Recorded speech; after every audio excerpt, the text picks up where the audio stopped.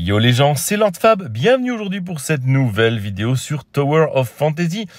Je souhaitais, après plusieurs dizaines d'heures de jeu, vous partager mon retour d'expérience sur les erreurs à ne pas commettre dans Tower of Fantasy. Si j'avais eu ces petites astuces, peut-être qu'effectivement j'aurais mieux utilisé les ressources dans le jeu et j'en serais à un tout autre niveau. Bref, c'est Lord Fab et je vous en parle tout de suite. D'avance, vous pouvez vous abonner à la chaîne, on est bientôt 6000, merci à vous. Le petit pouce bleu et me dire en commentaire si vous êtes d'accord ou pas avec moi, de façon bienveillante, bien sûr. Vous le savez, je suis en vacances, donc pas d'édit sur la vidéo. Cependant, je vais essayer de la faire la plus qualitative possible. Première erreur, utilisation des ressources. Vous le savez, dans un gacha, le plus important, c'est d'utiliser le mieux vos ressources pour pouvoir avancer le plus vite possible, surtout quand on vous les donne et que vous ne les payez pas, car vous êtes free-to-play. Et Tower of Fantasy ne déroge pas à la règle. Il faut utiliser votre ressource principale, enfin l'une de vos ressources, j'ai nommé le cristal obscur, de la meilleure façon possible. Je vous donne donc mon avis, je pense qu'il est important d'acheter uniquement avec ces cristaux obscurs des nucléus Le reste, vous pouvez l'obtenir soit avec du temps, c'est-à-dire en patientant, euh, soit dans le jeu. Euh, ni plus ni moins, en farmant et en jouant. Le nucléus rouge, lui, c'est une ressource que vous pouvez acheter soit en payant, bien sûr, soit en utilisant euh, justement les cristaux obscurs. Et ça va vous permettre d'aller chercher des personnages qui sont limités dans le temps, dans des bannières limitées. On va en parler tout de suite. Ces personnages-là, c'est très important d'aller les chercher. Pourquoi? Parce qu'ils amènent souvent de la résonance élémentaire. D'ailleurs, sur la chinoise, beaucoup de joueurs ont des teams mono-éléments ou bi-éléments dans lesquels on a un personnage qui apporte de la résonance. La résonance, c'est quoi? Par exemple, Nemesis va apporter 15% de dommages foudre supplémentaires à son compagnon si il est foudre, donc même élément que elle, donc Crow par exemple, ou alors Samir.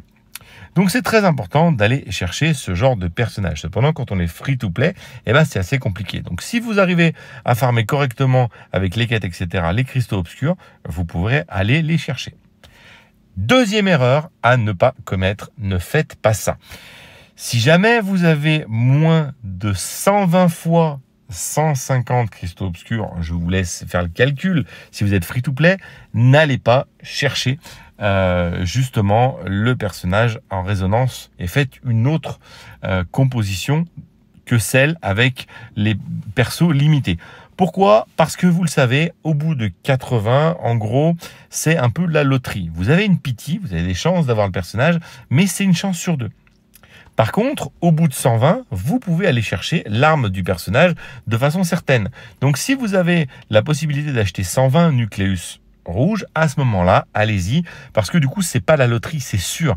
Et quand on est free-to-play, si vous basez toute votre équipe élémentaire, etc., sur un perso temporaire, si vous n'avez pas les 120, c'est pas la peine d'y aller, parce que si vous n'avez pas le personnage, vous allez vraiment être dégoûté, et honnêtement, vous allez limite arrêter le jeu. J'en ai vu tellement de gens tout compter, tout miser sur un personnage et ne pas l'avoir, donc ne faites pas cette erreur. Surtout que sur ce jeu-là, on peut l'éviter parce qu'ils sont très généreux avec nous et nous donnent la possibilité. Dans d'autres jeux, on a des ressources payantes uniquement et on ne peut pas faire ça. Voilà. Ensuite, troisième erreur à ne pas connaître, connaître pardon, c'est de monter des armes qui ne servent à rien. Alors moi, par exemple, j'ai fait la bêtise, et je ne sais pas pourquoi, j'avais Pepper, d'utiliser pas mal de ressources pour monter Pepper. Alors certes, elle a une très bonne recharge, donc c'est-à-dire le temps de charger euh, la décharge, enfin l'ulti euh, des autres armes, mais le problème, c'est que c'est pas une arme qui sert énormément. Euh, donc voilà, vous voyez qu'elle est 6 étoiles, etc. Euh, elle n'a pas un FC qui est absolument dingue. Mais bon, ça, c'est pas très grave. Donc, effectivement, ne faites pas cette erreur. Vous avez des ressources limitées et donc euh, c'est mieux de les consommer pour les armes SSR que vous allez choper. D'autant plus que ça, que si vous dépassez un certain niveau, vous allez commencer à devoir utiliser des ressources qui sont de plus en plus rares et là, vous en aurez besoin pour monter vos, vos, SSR. Euh, là, en l'occurrence, moi, ce que j'ai fait, c'est pas encore trop trop grave parce que du coup, j'utilisais des ressources plutôt bas niveau. Euh, mais honnêtement, faites pas la même connerie que moi, ça sert à rien. Voilà. Ensuite, euh, quatrième erreur à ne pas faire, c'est ne pas avoir tous les deux types de personnages dans votre équipe. Je m'explique. Vous avez deux statistiques qui sont très importantes dans le jeu. Vous avez la statistique de fracture et la statistique de recharge. La statistique de fracture, c'est simplement la statistique qui permet de casser les boucliers. On va appeler un breaker. Notamment King est actuellement le meilleur breaker du jeu avec une fracture S, en S à 12,5. C'est absolument énorme. En quelques coups, ils arrivent à casser le bouclier de l'ennemi et donc du coup à faire des dommages rapidement avec votre DPS principal. Donc vous avez utilisé, vous allez utiliser King pour casser le bouclier si le personnage a un bouclier, bien sûr. Et ensuite, vous allez switcher avec le DPS qui, lui, par exemple, j'ai une bêtise, Samir, qui, lui, va pouvoir euh, recharger très rapidement euh, les ultis et ensuite faire mal. Et donc, on va parler justement de la recharge. La recharge, c'est important d'avoir un personnage de type recharge, etc. Euh, à l'intérieur de votre équipe aussi, parce qu'il va permettre de charger les ultis des personnages. Donc, il vous faut un personnage fracture et un personnage recharge. Chose que moi, vous pouvez le voir, je n'ai pas, puisqu'effectivement, j'ai uniquement des personnages des personnages qui font de la recharge. Et du coup, bah c'est pas cool parce que euh, ça va me prendre beaucoup de temps pour tuer les ennemis avec euh, bouclier. Donc ça c'est pas, ça c'est vraiment pas cool. Euh, je vais descendre rapidement pour vous montrer très vite, mais comme vous pouvez le voir, regardez, lui il a un shield. Donc en dessous de sa barre de vie, vous avez un shield qui est disponible. Et du coup, je galère comme un rat mort pour aller essayer de le tuer. Alors qu'avec King, ça irait beaucoup mieux. Et si je switch d'arme, eh ben comme vous pouvez le voir, euh, mon, gars, il a toujours son bouclier et du coup, je peux pas aller le tuer. Donc, c'est pas forcément cool. Euh, voilà, bref. On va pas se prendre la tête. Hein. On va s'en aller. On va, fuir, on va fuir le combat. Voilà, très bien. Mais je voulais uniquement vous montrer ça parce que ça me semblait plutôt important, les amis. Ensuite, je vais vous donner une autre erreur à ne pas faire. Euh, à partir du level 31, vous allez avoir euh, disponible, euh, notamment dans les défis, donc ici, le PVP. Je sais que pour certains, le PVP c'est compliqué, vous ne voulez pas y aller. Faites un match au minimum et perdez-le, de façon à rentrer dans le classement et gagner des ressources, des nucléus noirs. On en a parlé des nucléus noirs.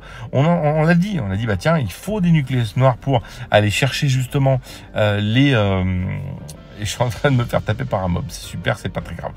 Euh, justement, ces nucléus noirs, on va en parler et on va aller chercher des bannières temporaires avec. Donc, allez chercher ces ressources, justement, euh, grâce au mode PVP.